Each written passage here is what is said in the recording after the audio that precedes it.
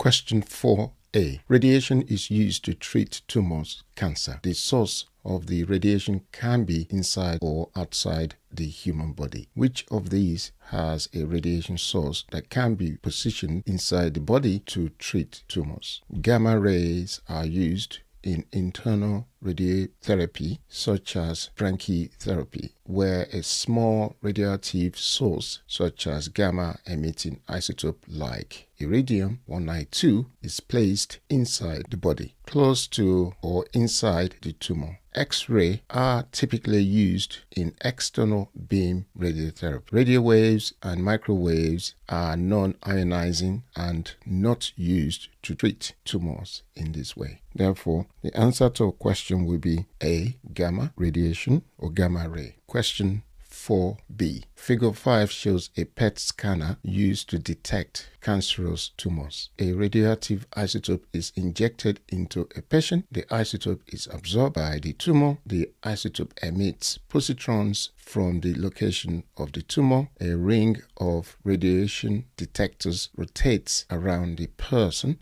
And here's the person there patient being scanned. Active radiation detector, this one here that rotates, and here's a tumor, and you can see again active radiation detector here.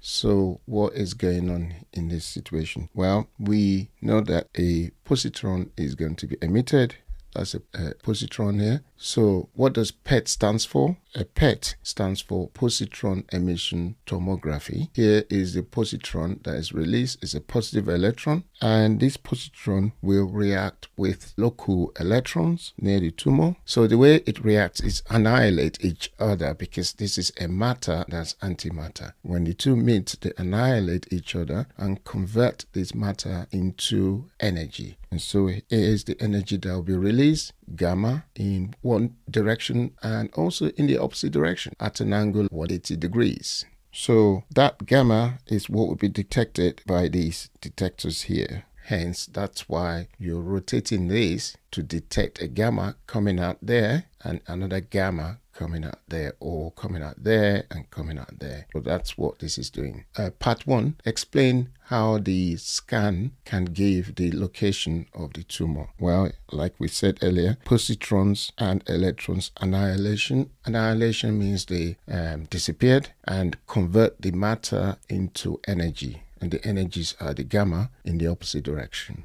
Uh, two, production of two gamma rays, right, in the opposite direction, in opposite direction at an angle of 180 degrees. for simultaneous detection by detectors to locate the source radiation detector. Gamma cameras could be used as scintillation counter. Five, at almost the same time, you can see the gamma are released at the same time, one going in one direction, the other going in the other direction. So that's what this is saying. And six, time difference give distance difference. Uh, as you know, speed is um, distance over time. Part 2 Explain why the radioactive isotope injected into the patient must be produced near to the place where it is to be used. Must be used for a short time after production and therefore it will have a half-life that is short.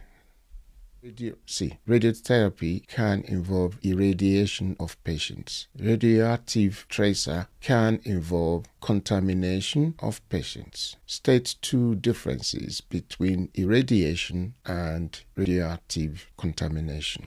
Irradiation is exposure radiation without direct contact with the radioactive source. Contamination is the presence of radioactive material inside or on the body.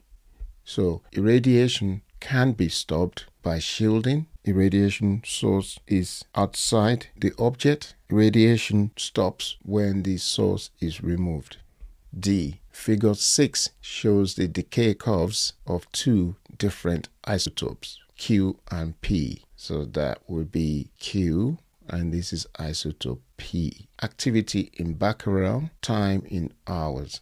Use the graph in figure 6 to determine the half-life of isotope P. We're starting at 100, half-life 50. So you want to go from 50 what we want to do is, yes, drop 50 there, trace it down, and that is 120 because that's 120, 140, 160, 180, that's 120. So we write here 120. Part 2 suggests a reason why the sample of isotopes could be more dangerous to humans than the sample of P. Well, because Q has longer half-life as you can see, Q is that one and the half-life is much longer than P. They both start 150 and therefore the time would be much longer too. Q has a longer half-life and Q takes longer to decay.